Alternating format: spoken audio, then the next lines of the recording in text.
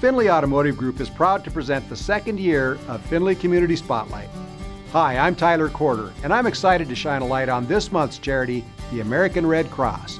Through volunteers and generous donors, they've been helping home fire victims, military families, and teaching first aid and swim lessons in Las Vegas since 1917. Find out how we can continue to make an impact. Tune to Channel 1861 or visit FindlaySpotlight.com to discover more.